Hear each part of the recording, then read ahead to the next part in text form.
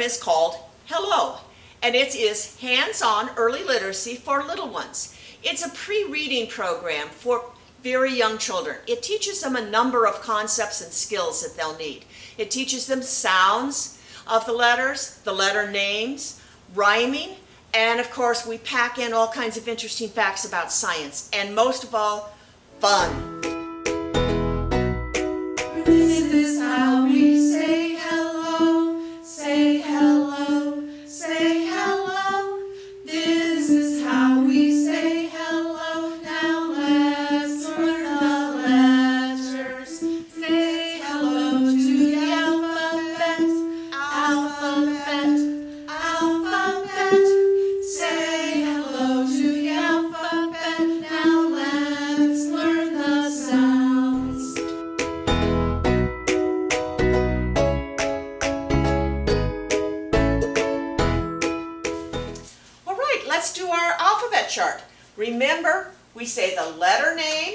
Say the letter sound, and then the animal that's on there. Let's begin. A, a, a, ant. B, b, b, bear. C, c, c, cat. D, d, d, dog. E, e, e, elephant. Ah, but I've got a secret for you. Today we are going to do the other sound that E has. E has two sounds. It has the eh, eh, elephant sound and it has the E where it says its name. E, E, eagle. F, f, fish. G, g, g, gorilla. H, horse. I, I, I, iguana. J, j, j, jellyfish. K, k, k, kangaroo. And L, O, O, lamb. And we stop halfway through the alphabet. All right, good job.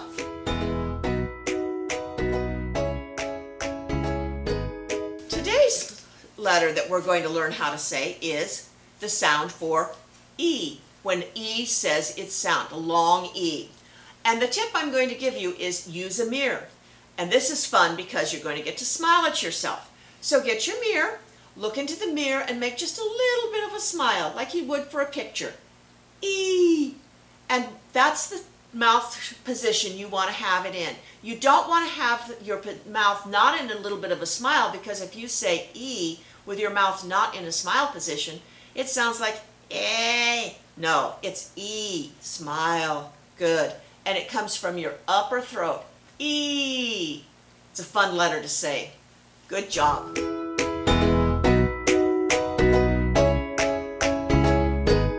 Learn how to write the letter E.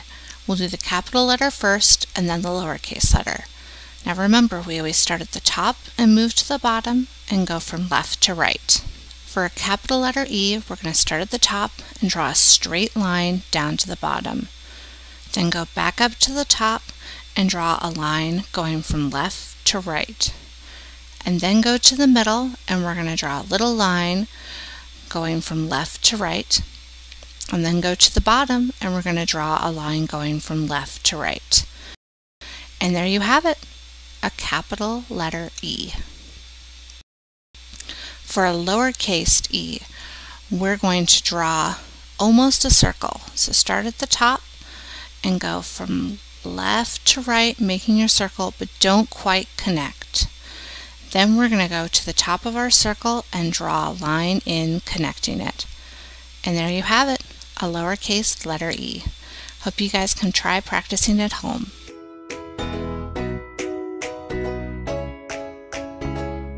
Today's word of the day is eagle.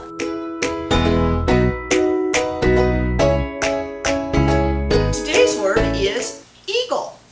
This is going to be a tricky word because there's some secrets that go on in the word eagle.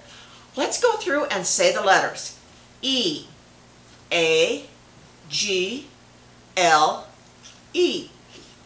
Now let's say the sounds. E. What's the sound for E? There are two sounds. It can be E or it can be E. This time it's going to be the E. What's the sound for A? A, A.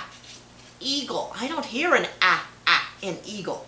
There isn't. Sometimes when E and A get together, guess what happens? E says, mm, I'm not going to let you say your sound, A. I'm just going to say my sound. So E and G for the G, that's G. O, E or E. I don't hear an E or an E at the end of eagle. No. Sometimes E is one of the tricky letters. You have to get you. Yeah, I know you are a tricky letter E. That's just the way it is. Sometimes E doesn't even say anything. It's silent. So at the beginning of eagle, E says, move over A, I'm the only one who's going to talk. And at the end of the word, E's feeling a little bad about that and it says, no, I'm just not going to talk at all. So now we have eagle, eagle, eagle. Isn't that fascinating what happens with a word sometimes? The letters don't always say what you think they're going to say when you think you're going to, they're going to say it.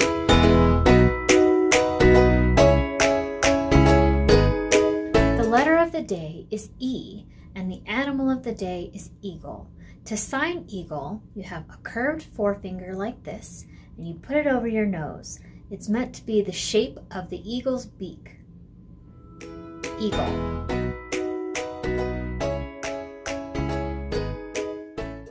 You guys ready to rhyme with me? Now, eagle is a hard word to rhyme, so instead we're going to rhyme the sound ing, ing, like in talking and rhyming. We're also going to focus on some of our actions today, pointing in the sky, gliding, and flying. So I'm going to say the rhyme two times. The first time, if you guys will listen and work on the different actions, and the second time, you can work on the different actions and also follow along down below. You guys ready? Let's get started.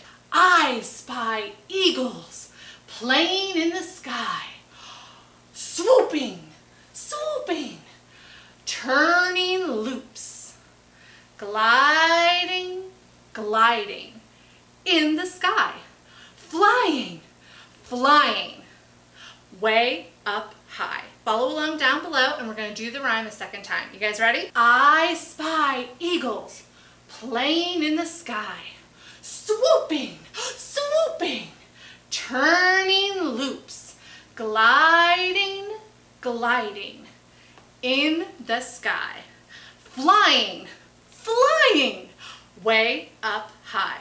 Great job!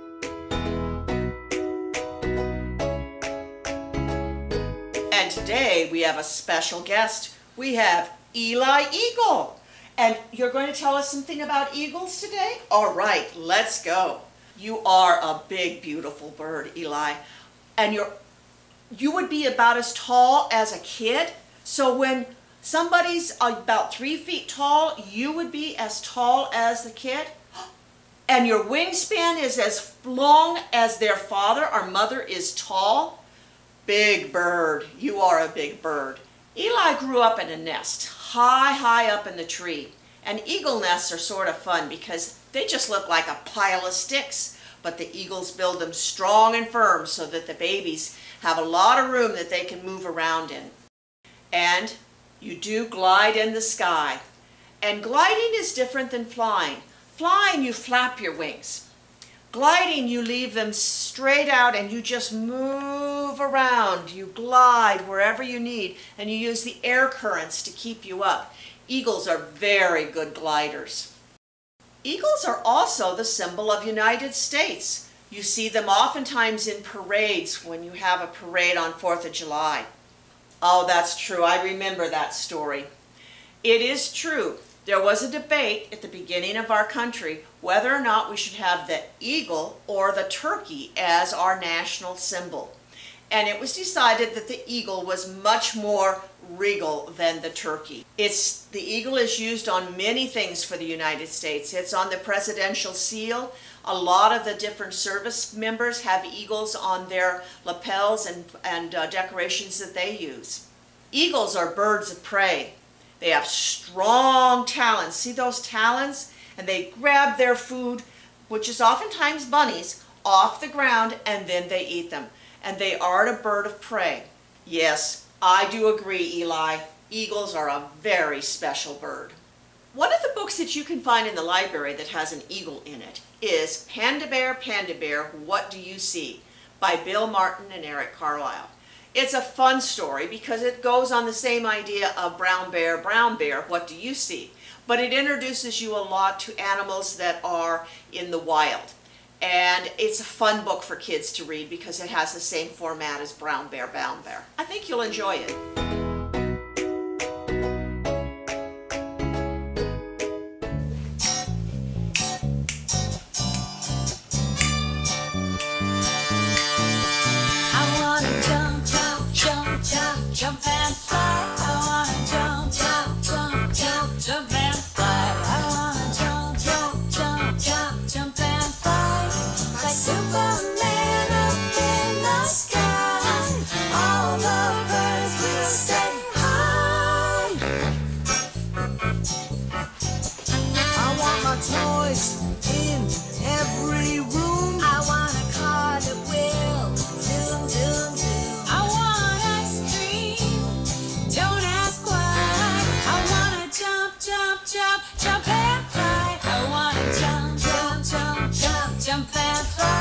Fly.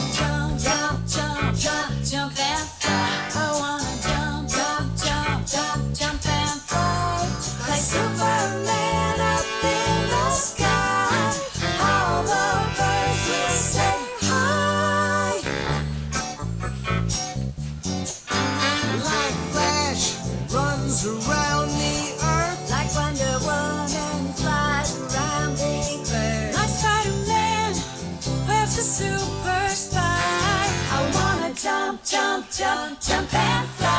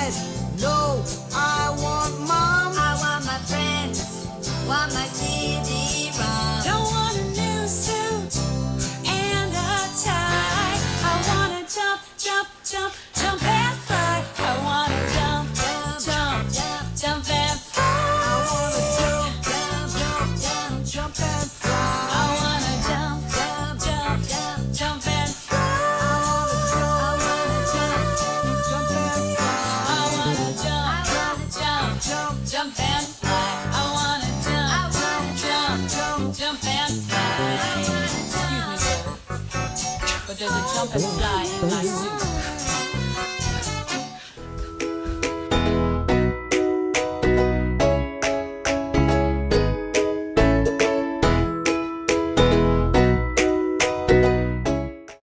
The literacy tip for Eagle is teaching children how to hear syllables. This is a part of phonemic awareness. So you can say, and it's oftentimes really fun not to just say the animal, have them go get all their stuffed animals from the bedroom and then hold up the animal and clap the syllables so that if you have a cat, you have one syllable.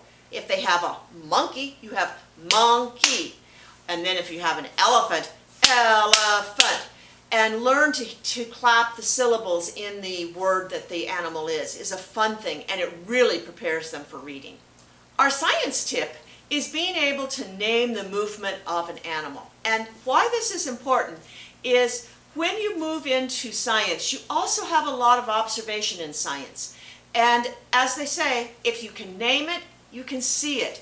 And if they know that there's a name for the movement of an animal, it's a lot easier for them to um, observe it more closely. And birds are a really good example because you have swooping, you know, where the animal swoops down to get a fish or something like that. You have flying, where they're actually moving their wings. You have gliding. You have diving.